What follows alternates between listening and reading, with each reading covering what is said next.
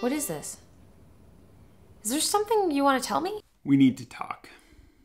You're leaving me?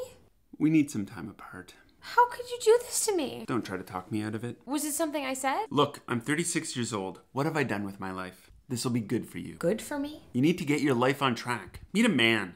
Build a career. I have a career. Blogging is not a career. Well, I do have a boyfriend. The boy next door doesn't know your name. That's not a boyfriend. He knows my name. I tire of your delusions.